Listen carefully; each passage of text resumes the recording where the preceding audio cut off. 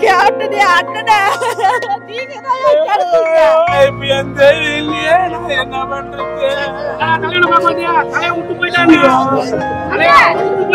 ஒவ்வொரு எலெக்ஷன் வரும்போது அவரோட ஓட்டு சதவீதம் குறைய குறைய குறைய அவர் தேய்ச்சிக்கிட்டே போனாரு.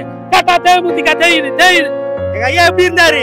சிங்கம் போலாங்க. எதிர்கட்சி தலைவர்லங்க அதையும் தாண்டி உட்கார வந்தாருங்க கட் பண்ணி கட் பண்ணி கட் பண்ணி கட் பண்ணி அவரோட கதையே முசிக்கல அண்ணா நினைச்சா அண்ணா எம்ஜிஆர் நினைச்சா எம்ஜிஆர் கேப்டன் நினைச்சா கேப்டன் கலைஞர் நினைச்சா கலைஞர் காமராஜர் காமராஜர் கர்ணான்னா கர்ணா தர்மன்னா தர்மம் வள்ளல்னா வள்ளல். எங்க கேப்டனை மிஞ்ச வேற யாருமே இல்லம்மா. என்னம்மா அஞ்சாறு சோறு எனக்கு வந்தா கொடுக்க மாட்டீங்களான்னு கேட்ட ஒரு தலைவன். யார்ட்டையும் பணங்காசு கேட்டதில்ல போனதெல்லாம் இல்ல. எப்ப கேப்டன் என்னோட உயிர். நடிகர் சங்கத்தை மீட்டெடுத்து இந்த கடனை அடைத்து நிச்சயம் கொடுத்து தான் தலைவர் வந்து நடிகர் சங்கத்திலிருந்து வெளியே வந்தார். உண்மையிலே சொல்றேன் அவர் கெத்து.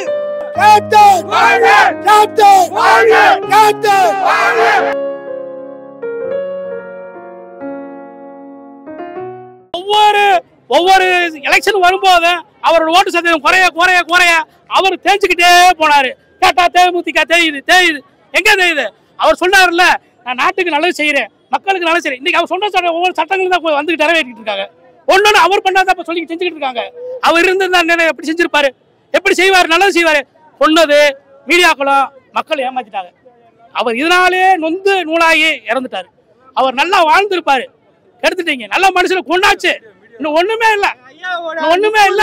அரசியல் வாழ்க்கைய மூணு நிமிஷம் வீடியோல. என்ன சேனல் தெரியல. ஏதோ ஒரு ஊடகக்காரன் சேனல் தாங்க கெடுத்தீங்க. எங்க ஐயா எப்படி இருந்தாரு? சிங்கம் போலாங்க எதிர்கட்சி தலைவர்லங்க அதையும் தாண்டி உட்கார வந்தாருங்க. கட் பண்ணி கட் பண்ணி கட் பண்ணி கட் பண்ணி. அவரோட கதையே முசிக்கல கட் பண்ணி போட்டு நிக்கிறீங்களே? அன்னைக்கு அதே விமான நிலையத்துல சென்னை விமான நிலையத்துல கொஞ்சம் விட்டுருந்தீங்கன்னா அவரோட அரசியல் வாழ்க்கை வேற மாதிரி போயிருக்குங்க. தமிழ்நாடு இல்ல இந்திய அரசியலமைப்பு. நம்ம வீட்டுக்காரன் அடிக்கிறான் கோவத்துப்பட்டு அடிக்கிறான் அதுக்காக வீட்டுக்காரன் நம்ம வேடாட விட்டுருமா என் கேப்டனே அண்ணனே. நீங்க தான் இவங்க தான் இருபது எம்எல்ஏ யாரு? எதிர்கட்சி யாரு கேட்டிருப்பாங்க? அந்த அம்மாவை எதிர்த்து தப்புன்னா தட்டி கேக்குற ஒரு சிங்க யாருன்னா தலைவையா வயிறு எரியிற வயிறுக்கு பா- சோறு போட்டாங்கன்னு சொல்லுவாங்க போட்டவங்கள காட்டி இருப்பாங்களா நேர்ல என் சிங்க தலை இதே இடத்துல பாரு இப்ப கூட சோறு நான் செத்து இருந்தா கூட நீங்க ஜனம் சோறு சாப்பிட்டுட்டு தான் என்ன வந்து பாக்கணும் சொன்ன ஒரே தலைவர் யாருயா? இந்த தமிழ்நாட்டுல ஒருவரையா? நீங்க செத்துதா நான் செத்துதா என் கூட பிறந்த அண்ணன் தம்பி செத்துதா நம்ம சோறு துண்ணுவோமா ஆனா நீங்க சாப்பிட்டுட்டு தான் வந்து என்ன பாக்கணும் வர கூட்டம் காசுக்காக வராத கூட்டம் என்ன காசுக்கு நாங்கெல்லாம் எங்களுக்கெல்லாம் அஞ்சு பைசா இல்ல நாங்க அரசியல்ல ப- இருக்கிறோம். அரசியல்ல இருந்தாலும் நாங்க எங்களுக்காக ஒரு ரூபாய் நாங்க அவங்க கிட்ட எல்லாம் நாங்க வாங்கல. எங்க காசு எங்க உழைப்பு யாருக்காக என் கேப்டனுக்காக தான்? போயிட்டாரு.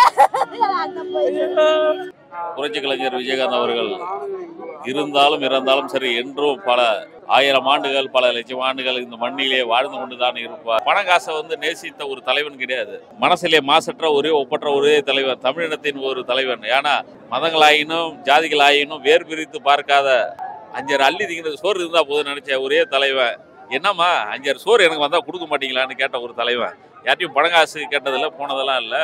எனக்கு வந்து உங்கள் வீட்டுக்கு வந்துட்டேன்னு எல்லாத்தையும் இழந்துட்டேன்னா எனக்கு ஒரு அஞ்சாறு சோறு போட மாட்டீங்களான்னு கேட்ட தலைவன்.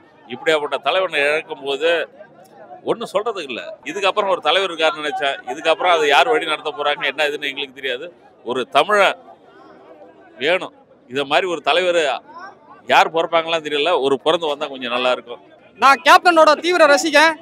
கேப்டன் இறப்பு செய்தி கேட்டு மிகவும் துயரமுற்றேன். அவர் திடீர்னு இறப்பாருன்னு கண்டிப்பாக எங்களுக்கெல்லாம் தெரியவே தெரியாது. கேப்டன் என்னோட உயிர். அவர் இறப்பை வந்து என்னால் தாங்கி கொள்ள முடியல. கேப்டன் வாழ்க! கேப்டன் வாழ்க கேப்டன் இருநூத்தி முப்பத்தி நாலு தொகுதியில தனித்து நின்று முன்னுக்கு வந்தவர் ஒரே ஆள் கேப்டன் மட்டும்தான். எந்த நடிகரும் யாருமே கிடையாது. அதான் சொல்ல முடியும். கேப்டனாக என்ன வேணா செய்யணும் என்னை பொறுத்தவரையும் ஐயா வந்து இறந்தது எனக்கு ரொம்ப கஷ்டமா இருக்கு. ஐயா ரொம்ப நல்லவர். அவர் இருந்திருந்தா தான் நாங்க இந்த மாதிரி ரோட்ல தான் இருக்க மாட்டோம். அவர் இறந்துட்டாரு. எங்களுக்கு ரொம்ப கஷ்டமா இருக்கு. நான் பல்லாவரத்துல இருந்து வரேன். என் நாலு பிள்ளைங்களை கூட்டின்னு அவரை பார்க்கறதுக்கோசம் தான் நாங்க வந்திருக்கோம். ஆனா எங்க அப்பா வந்து இன்னி வரைக்கும் எங்க அப்பா அவர் கூட எல்லா படத்துலயும் நடிச்சிருக்காரு. சொல்றேன் அவர் கெத்து. இந்த ஊருக்கு கேப்டன்னா அவர் ஒரு கெத்து. அவரை மாரி யாருமே தெரியாது இந்த உலகத்துல. புரியுதா? பேர் வாங்கினது யாருன்னா அவர் ஒண்டித்தான் அவர் பேர் வாங்கினது. நல்லா நடிச்சுக்கிறாரு நல்லா பேர் வாங்கினாரு. என்ன ஒண்ணு? இந்த அரசியலில் வந்து தான் அவர் உடம்பு நல்லா ஆயிட்டார் அவரே காணி படம் நடிச்சிருந்தான்னு வச்சுக்கோ. இன்னும் கொஞ்சம் காலமா நல்லா இருந்திருப்பாரு. அவர் இறந்துட்டானோனே எங்கள் மனசே சரியில்லை. நல்லவங்களாம் வந்து பூமியில இல்லை. இந்த அநியாய அக்குறம் பண்றது தான் பூமியில இருக்கிறாங்க கடவுளை ஏன் தான் இப்படி படிக்கிறானோ தெரியல ஏன் தான் உயிரை எடுக்கிறானோ தெரியல.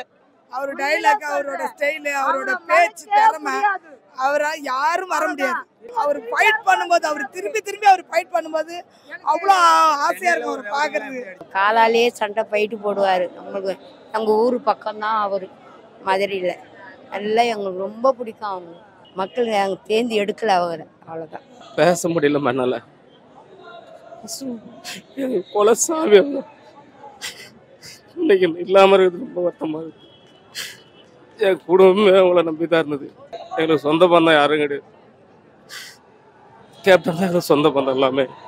அவர் இல்லைன்ற ரொம்ப கஷ்டமாக இருந்தது எங்களால் சமாளிக்க முடியல மனசு தேர்த்திக்கவும் முடியல எங்களால். அவ்வளோ மன வேதனையாகுது அண்ணா நினைச்சா அண்ணா எம்ஜிஆர் நினைச்சா எம்ஜிஆர் கேப்டன் நினைச்சா கேப்டன் கலைஞர் நினைச்சா கலைஞர் காமராஜர் காமராஜர் கர்ணான்னா கர்ணா தர்மன்னா தர்மம் வல்லல்னா வல்லல் எங்க கேப்டனை மிஞ்ச வேற யாருமே இல்லைம்மா. எந்த நடிகரும் வர போறது இல்ல எந்த அரசியல்வாதியும் வர போறது இல்ல.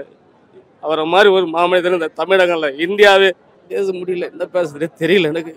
தமிழ்நாட்டு மக்கள் ரொம்ப ரொம்ப வருத்தப்படுவாங்க இனிமே. அவர் இருந்தாரு தட்டி கேட்டாரு. இனி யாரும் தட்டி கேட்க ஆளும் கிடையாது. அவரை மாதிரி ஒரு சிங்கத்தை யாரும் பார்க்க போறதும் கிடையாது. ஊர் மக்களுக்கு எல்லாத்துக்குமே செஞ்சிருக்காரு. இப்ப நாங்க வாழ்ந்துகிட்டு இருக்கிற தலைவர்கள் தான் நாங்க வாழ்ந்துகிட்டு இருக்கிறோம். தலைவர் இல்லாதவங்க நாங்க இல்ல. எப்ப பாக்க போறோம் இனிமே? ஒரு தடவை ஒரு அரசியல்ல உட்கார வச்சு பார்க்கணும்னு நெஞ்சில ஆசை இருந்தது.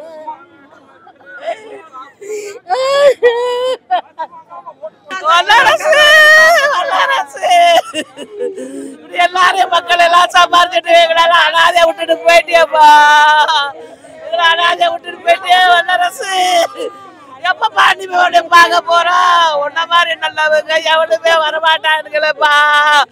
உன்ன மாதிரி தாங்க பார்க்க முடியாது. ரெண்டுமா எங்களை வந்து ஒரு ராணுவ கட்டுப்பாடாக தான் எங்களுக்கு வளர்த்துருக்குறாரு.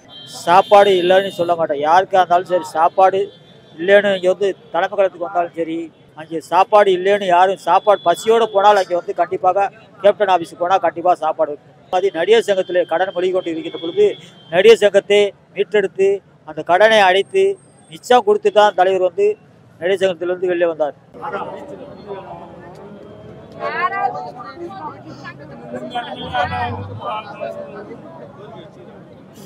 ஜனவரி ஒன்னானா பார்க்கலாம்னு நினைச்சேனே.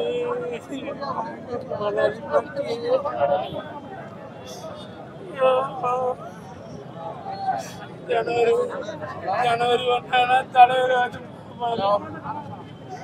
அவரு எங்களுக்கு வருத்தமே இல்லாத ஆகிட்டாரு ஐயோ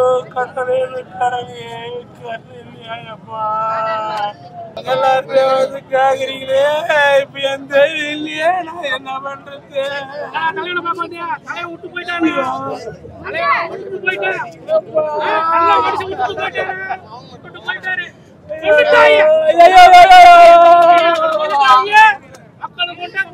ஓட்டு